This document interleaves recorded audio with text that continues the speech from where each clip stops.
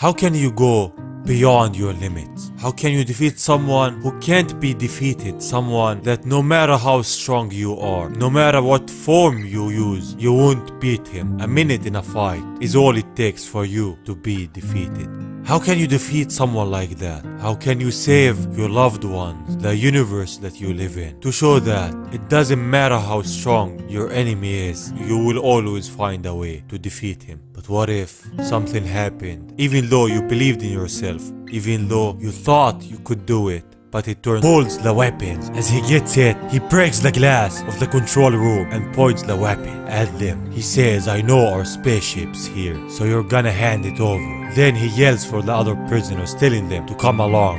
They're not gonna hurt them. We go to Merus's ship as they get an incoming call. There's an emergency dispatch straight from the HQ telling them that the inmates at the Galactic Patrol prison have staged a massive prison break. And the incident actually happened one minute ago. The message came late because they lost contact with the prison. Jaco remembers one minute ago that was right about when Moro made his last wish. All fingers point towards Moro that he used the last wish to make the prisoners escape, just like I said before. The Namekian start getting his memory back. Then it all comes back to him. About Moro's last wish, he says, Yes, for that final wish, I demanded that every prisoner in the galactic prison go free. So now we know what his last wish is. Now we won't speculate anymore. We won't say that it was maybe immortality or just like I thought actually it will be that he would never be sealed once more. He wants to use them somehow. But why though? I just don't get it. Why wish for them to go free when you could wish for something else, something to give you the edge over the beings in the universe, like to never be sealed again or to get a lot more powerful or to make your absorption a lot faster by the time that you absorbed one planet. After the wish, you will absorb 10. There's a lot of things that Moro could have wished for. A lot of things that will give him the edge. I know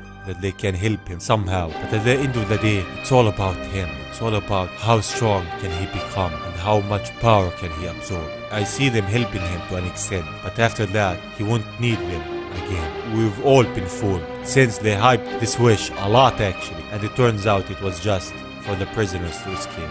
Who knew? We go back to Namek. Goku and Vegeta ask him, You let them loose? But why? Just like what we're thinking. But he doesn't answer. He just says, Here they come. As a giant ship is floating above them. Goku's feeling a lot of ki coming from it. As it fires an energy beam towards them, a giant explosion happens. The shockwave could be seen from out of Namek. Goku, Vegeta, and the Lord of Lords dodge it somehow. But as the smoke starts to clear, we see Moro is on top of the ship. Kneeling before him is Saganbo. You've brought a small army, I see.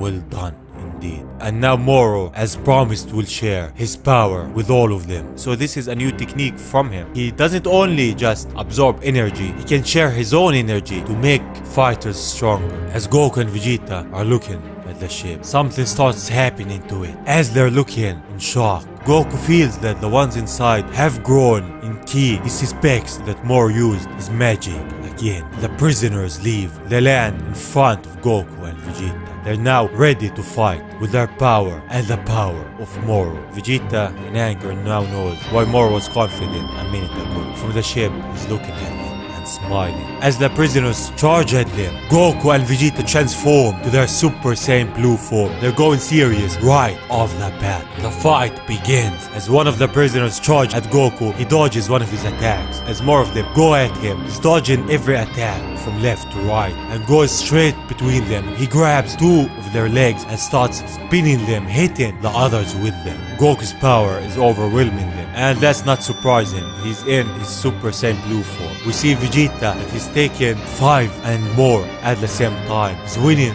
against all of them, dodging attacks and firing ki blasts as the masses, as the explosions happen. We see that the Lord of Lords, Vegeta, and Goku are taking all of them at the same time. But Moro isn't worried, he's just looking and smiling. As the prisoners start losing hope, Saganbo tells them to keep going. They can't hold all of them at once. After that, Goku, Vegeta, and the Lord of Lords charge at them. But suddenly, Goku loses his Super Saiyan Blue form. He and Vegeta go back back to their Super Saiyan God form. Why is that? The Lord of Lords tells them Moro has started absorbing energy again. As we see a long shot what's happening, Moro is absorbing the energy from the whole planet again. If you didn't notice, now as soon as he started absorbing, they just lost their Super Saiyan blue form. Didn't take a lot of time. This is why I'm saying, how will they beat this guy when as soon as he started absorbing energy, they lost their Super Saiyan blue form. And now he will just absorb and absorb and absorb. How would they beat him? This is all questions that I want to know the answer to actually. Goku isn't happy with what's going on. He says, not so fast as he charges toward Moro. Saganbo will handle him as he jumps towards Goku as they're both going at each other. Goku loses his Super Saiyan God form and goes back to his Super Saiyan 3 form and gets hit by Saganbo with a punch on his face, sending him crashing to the ground. He even loses his Super Saiyan 3 form and goes back to his base form. The more powerful Moro is, the faster he absorbs. And in a span of a minute,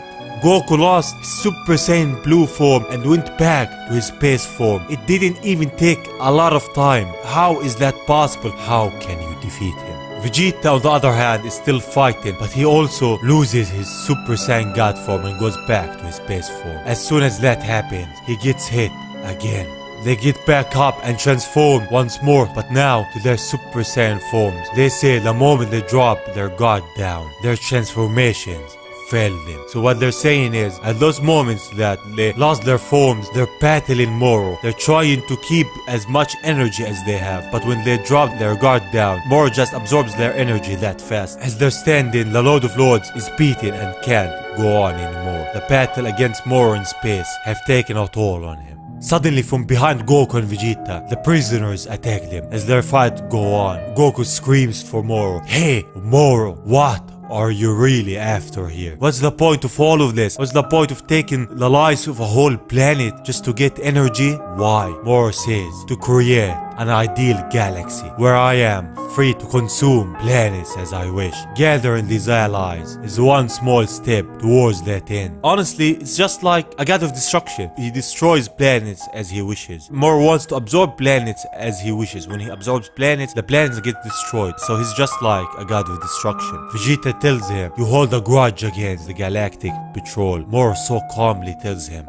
I wonder. What I can say is, I detest the sort of peace that you people want to preserve on this planet and others. All those who will strive for such nonsense should be eradicated. As Goku and Vegeta are on the ground looking at him, they lose their Super Saiyan forms. Now they can't even transform to any form that they have. As Vegeta says, how many times will we fall for his tricks? How many times will they fall against him? Now they're fighting the prisoners in their best forms as Moro is just absorbing more and more of Namek's energy. They're having a hard time. Moro is just absorbing their energy, not the prisoners. That's why they are getting weaker, while their opponents are strong. But now they get help as in front of them, Jaco and Merus get there. They start firing at the prisoners. Merus says defeating Moro is impossible at this point. Given the circumstances, we have to retreat. And I'm with him on this one. But if they retreat, Moro's gonna get stronger and absorb Namek. Then he's gonna go to the next planet.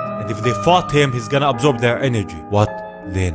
The Namekian heals the Lord of Lords. As he gets up, Goku calls for the Galactic Patrol ship. On it, the one is called Irico. He tells him that he gotta take the ship and get out of this planet. Goku says, I hear you, Merus. Grab my hand, we will escape with instant transmission. Merus calls for the Lord of Lords. Use your own instant transmission to rap to the Galactic Patrol HQ.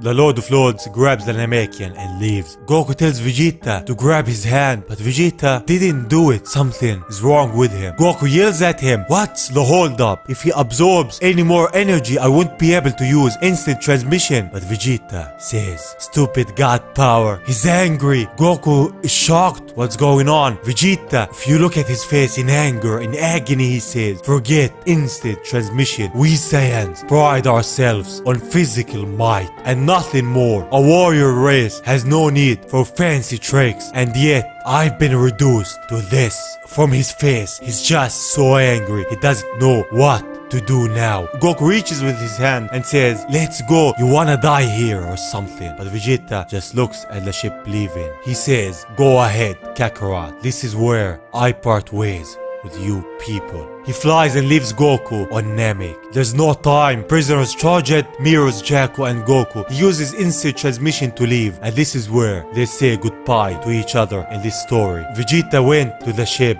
with Irico and Goku used instant transmission to go to the Galactic Patrol headquarters. From the ship as they leave the orbit, from the back we see that Namek is different, energy and lightning is all over it. As Irico says to Vegeta we're heading back to the Galactic Patrol HQ, Vegeta gets his hand up and says, No, you're going to fly this thing where I want to go. As he asks, Where's that exactly? Vegeta tells him, We're going to planet Yardrat. So this is it. This is Vegeta's plan. He wants to go to Yardrat, the planet that Goku learned instant transmission at.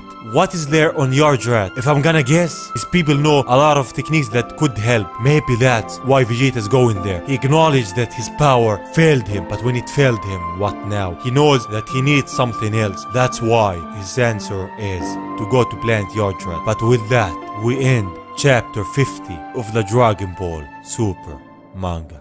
We saw how they felt despair, how they failed planet Namek. We said in this chapter goodbye to Goku and Vegeta. They parted ways. We saw our new Moro who just gets stronger. What now? What is gonna happen on Yardrat and how will Goku and Vegeta beat him and save the whole universe. This was the chapter that we said goodbye to the journey of Goku and Vegeta. Their roads split and now the fate of the universe lies on their shoulders. This was the story of one last try to save the universe.